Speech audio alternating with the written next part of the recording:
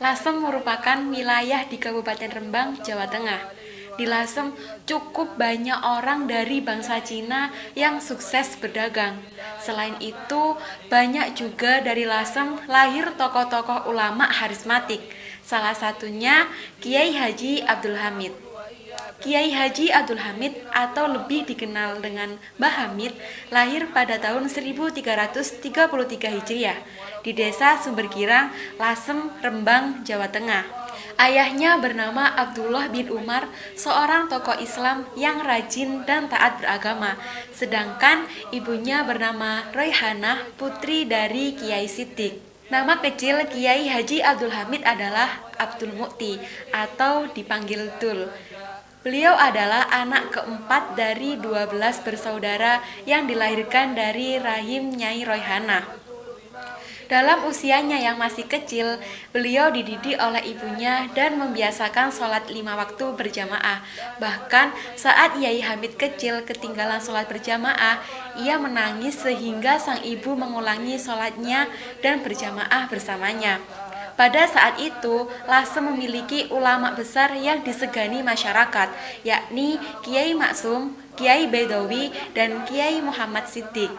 Pada usia tujuh tahun, Yai Hamid kecil dididik dan dibimbing sendiri oleh ayahnya dalam belajar Al-Quran dan dasar hukum Islam. Pada usia tujuh tahun, Yai Hamid kecil dididik dan dibimbing sendiri oleh ayahnya dalam belajar Al-Quran dan dasar hukum Islam. Pada usia tujuh tahun itu pula ia sudah hafal Nadom Balagoh Jawahir Al-Maknum. Kemudian dalam usia 9 tahun, ia sudah mulai menghafalkan kitab gramatika bahasa dan sastra Arab Alfiyah Ibnu Malik, yang juga dengan dibimbing langsung dari ayahnya. Sebagai orang yang taat beragama, ayah maupun ibunya memang mengharapkan agar anaknya bisa menjadi orang yang berbudi luhur di kemudian hari. Pada usia 12 atau sekitar tahun 1926 atau 1927, beliau dipondokkan ke pesantren Kasingan Rembang. Pesantren ini diasuh oleh Kiai Haji Khalil bin Harun. Di pesantren Kasingan, ia mendalami ilmu gramatika bahasa dan sastra Arab seperti ilmu nahwu, sorof, balagoh, dan arut selama kurang lebih satu setengah tahun. Pada usia 13, ia diperintah ayahnya mengabdi kepada kakeknya, yaitu Kiai Muhammad Sidik di Jember, Jawa Timur. Ada kisah menarik yang tidak biasa. Dikisahkan pada saat Yai Hamid berada di rumah kakeknya, Mbah Sidik, tiba-tiba datanglah Rasulullah Shallallahu Alaihi Wasallam secara yakodo, dan saat itu ia sedang bersama kakeknya. Rasulullah Shallallahu Alaihi Wasallam bertanya kepada Mbak Sidik, siapakah anak ini? Mbak Sidik menjawab, ini cucu saya. Kira-kira dua tahun kemudian, Rasulullah Shallallahu Alaihi Wasallam datang kembali dan berpesan kepada Mbak Sidik supaya cucunya yang bernama Abdul Hamid diajak pergi haji. Kala itu Abdul Hamid berusia 15 tahun, diajak Mbah Sidik menunaikan ibadah haji. Konon ketika ziarah ke makam Rasulullah Shallallahu Alaihi Wasallam, mereka bertemu muka dengan Rasulullah Shallallahu Alaihi Wasallam dan sempat bersalaman. Keduanya juga mencium tangan Rasulullah Shallallahu Alaihi Wasallam bukan dalam keadaan tidur atau dalam keadaan yakodo. Setelah pulang dari ibadah haji di Mekah, Kiai Hamid melanjutkan belajarnya di pondok pesantren Termas yang didirikan oleh Kiai Manan. Pada saat itu, pesantren Termas diasuh oleh Kiai Dimyati bin Abdullah bin Manan. Mula-mula pada saat di Pondok Termas, Kiai Hamid hidup prihatin karena kiriman ayahnya hanya cukup untuk makan nasi tiwul. Celakanya, lokasi warung langganan Yai Hamid jauh dari pondok. Apa boleh buat, kaki melangkah setiap hari dengan memakai celana panjang dan bersepatu persis halnya orang berangkat ke kantor. Sepatunya disemir dengan mengkilap. Lima tahun di sana, ia ditunjuk sebagai lurah pondok. Kala itu, ia sekurun waktu dengan Kiai Abdul Ghafur Pasuruan, Kiai Harun Banyuwangi, dan Kiai Mas Duki Lasem. Selain sebagai lurah pondok, Kiai Hamid muda juga mengajar ilmu fikih, hadis, tafsir, dan sebagainya. Sehingga ia pun mulai mendapatkan bisyarah dan tidak memerlukan lagi kiriman dari orang tuanya. Setidaknya tidak tidak perlu makan nasi tiwul. Adapun perubahan nama Abdul Mukti menjadi Abdul Hamid dalam hal ini ada dua versi. Menurut buku karya Hamid Ahmad disebutkan karena banyak yang memanggil beliau Haji Hamid dan Yai Hamid, sejak saat itulah beliau mengalah yang pada akhirnya beliau dikenal dengan nama Abdul Hamid. Sedangkan menurut buku karya Abdullah Sadiq, nama itu berubah ketika ia mondok ke Kasingan Rembang sekitar usia 12 atau 13 tahun. Kiai Hamid menikah di usia 22 tahun dengan sepupunya sendiri, yakni Nyai Hajah Nafisah bin Kiai Haji Ahmad Kusyairi bin Kiai Haji Muhammad Siddiq. Pernikahan mereka berlangsung pada hari Kamis 12 September 1940 Masehi.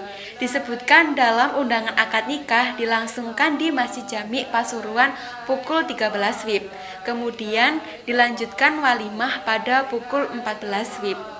Namun hal ini tidak sesuai rencana karena Mbah Hamid terlambat datangnya. Terpaksa acara walimah dimulai saja meski tanpa kehadiran Yai Hamid. Baru pada pukul 17 rombongan yang ditunggu datang juga. Akibatnya, para tamu sudah pulang dan akad nikah disaksikan oleh beberapa keluarga saja. Penyebab telatnya beliau adalah diajak oleh Mbah Maksum Lasem untuk ziarah ke makam para wali. Dari perkawinan ini, beliau dikaruniai lima orang anak, yakni Muhammad Nu'man, Muhammad Nasih, Muhammad Idris, Anas, dan Zainab. Dua yang disebut terakhir meninggal sewaktu mereka masih kecil. Kiai Hamid menjalani masa-masa awal kehidupan keluarganya dengan tidak mudah. Selama beberapa tahun, ia harus hidup bersama mertuanya di rumah yang jauh dari mewah. Sedangkan untuk menghidupi keluarganya, tiap hari ia mengayuh sepeda sejauh 30 km pulang pergi sebagai pelantik sepeda. Sebab kata Kiai Idris, pasar sepeda waktu itu ada di Desa Porong, Pasuruan. 30 km ke arah barat kota Pasuruan. Kendati demikian, tidak pernah sekalipun terdengar keluhan darinya. Bahkan beliau sedemikian rupa dapat menutupinya, sehingga tak ada orang lain yang mengetahui. Kesabaran Kiai Hamid juga diterapkan dalam mendidik anak-anaknya. Menurut Kiai Idris, mereka tidak pernah mendapat marah, apalagi pukulan dari ayahnya. Ayahnya lebih banyak memberikan pendidikan lewat keteladanan. Nasihat sangat jarang diberikan, akan tetapi untuk hal-hal yang sangat prinsip seperti sholat misalnya, Kiai Hamid sangat tegas. Setelah beberapa bulan setelah menikah, Kiai Hamid diperintah oleh Kiai Haji Ahmad Kusyairi menggantikan kedudukannya sebagai pengasuh pondok pesantren Salafiyah. Sedangkan Kiai Haji Ahmad Kusairi pindah ke Glenmore, Banyuwangi, mengajar dan mendirikan pesantren sendiri. Bahkan setelah berkeluarga di Pasuruan, beliau masih mengaji kepada Habib Ja'far bin Saihon Asaigaf, seorang tokoh ulama yang sudah terkenal waliullah. Menurut beberapa riwayat, sewaktu berada di Pasuruan, Kiai Hamid mempunyai rutinan, yakni setiap sore menghadiri pertemuan pengajian dengan metode mudakaroh yang diselenggarakan oleh Habib Ja'far bin Saihon pukul setengah lima hingga setengah delapan malam. Dalam pengajian tersebut dihadiri oleh para ulama yang spesifik membahas diniyah. Dipergunakan kitab Iya Ulumuddin Karya Imam Ghazali dalam hal ini, Kiai Hamid sering ditunjuk oleh Habib Ja'far sebagai juru bicara untuk menyampaikan kesimpulan aplikasi masalah dari beberapa poin kalimat. Berkat kumpul dengan para ulama, terutama Habib Ja'far, kewalian Kiai Hamid mulai tampak. Meskipun sebelum bertemu Habib Ja'far, kewalian Kiai Hamid sudah ada. Dalam artikel NU Online Jawa Timur mengenal lebih dekat sosok Mbah Hamid Pasuruan, diceritakan bahwasanya Kiai Haji Abdul Hamid pergi ke Baghdad setiap tahun. Bermula dari kisah yang dialami langsung oleh Kiai Masyudi. Sanan Kulon, Blitar yang diceritakan sekitar tahun 2007 hingga 2008 sebelum wafat. Sebelumnya, kisah ini tidak pernah diceritakan ke siapa pun. Hal itu atas permintaan Kiai Hamid sendiri ketika beliau masih hidup. Al-Kisah, di awal tahun 80-an, Kiai Masyudi melaksanakan ibadah haji. Pada saat itu, sholat Jumat di Masjidil Haram tanpa sengaja berkenalan dengan seorang syekh dari Baghdad yang bernama Syekh Hasan, mengingat keduanya memang alim dan fasih. Perkenalan, perbincangan menjadi akrab diliputi kehangatan dalam bahasa Arab. Kejanggalan terjadi saat Kiai Masyudi mengenalkan bahwa dirinya berasal dari Jawa Timur. Syekh Hasan bertanya yang jika di Indonesia kan kurang lebih begini, Apakah Anda kenal dengan Kiai Abdul Hamid Pasuruan? Kiai Masyudi agak kaget dan balik bertanya. Beliau itu guru kami yang masyur kealimannya. Ya Syekh Hasan, dari mana Anda mengenal Kiai Hamid? Ternyata jawaban Syekh Hasan lebih mengagetkan lagi. Yang intinya bahwa beliau kenal baik dengan Kiai Abdul Hamid Pasuruan Sebab sang kiai selalu hadir pada acara haul Syekh Abdul Qadir Al-Jailani di Baghdad. Tidak hanya itu, saat di Baghdad, Kiai Hamid selalu bermalam di rumah Syekh Hasan. Ini rutin setiap tahun. Singkat cerita, selepas sholat Jumat, sebelum keduanya berpisah, Syekh Hasan mengakhiri percakapannya dengan menitipkan salam kepada Kiai Hamid yang intinya Syekh Hasan menunggu kedatangan Kiai Hamid pada haul Syekh Abdul Qadir tahun depan di rumahnya di Baghdad. Sesampainya di tanah air, karena amanah titipan salam Syekh Hasan, Kiai Masyudi soal langsung kepada Kiai Hamid. Baru sampai di depan rumah, sang tuan rumah langsung keluar mempersilahkan Kiai Masyudi masuk. Seolah sudah tahu maksud kedatangan tamunya, Bahkan Kiai Hamid mendahului menyapa dengan berbisik ke telinga Kiai Masyudi. Nak Masyudi, jangan cerita ke siapa-siapa ya kalau bertemu Syekh Hasan. Selama sudah saya terima, mohon jangan cerita siapa-siapa. Setelah Kiai Hamid wafat, Kiai Masyudi menyampaikan kisah ini kepada salah satu menantu Kiai Idris, putra Kiai Hamid agar menanyakan langsung ke Kiai Idris Hamid apakah dahulu abahnya setiap tahun selalu pergi ke Baghdad. Namun putra Kiai Hamid itu menjelaskan bahwa abahnya belum pernah pergi jauh ke mana-mana kecuali pada saat melaksanakan haji. Subhanallah karomahnya para wali.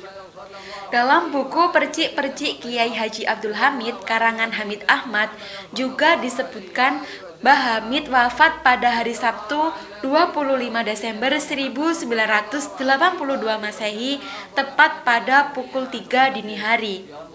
Beliau mengembuskan napas terakhirnya pada usia 70 tahun dalam hitungan Hijriah. Seorang tokoh besar, tokoh panutan meninggalkan umatnya. Innalillahi wa inna ilaihi rojiun. Kabar pun segera menyebar lewat radio dari mulut ke mulut dan dari telepon ke telepon, kala itu umat datang berbondong-bondong untuk melayat ke rumah duka sejak pagi. Mereka berasal dari berbagai penjuru. Umumnya seperti tidak percaya Kiai Hamid wafat. Kiai Haji Ali Maksum bertindak sebagai imam sholat. Setelah sholat asar, Kiai Hamid disemayamkan di kompleks makam sebelah barat Masjid Jami Al-Anwar Pasuruan. Posisi makamnya di antara makam Habib Ja'far bin Saihon Asaikaf, Kiai Haji Ahmad Kusyairi, dan Kiai Haji Ahmad Sahal. Ila arwahi Kiai Haji Hamid bin Abdullah wa usulihim wa fur'ihim wa ahli silsilatihim al-fatihah.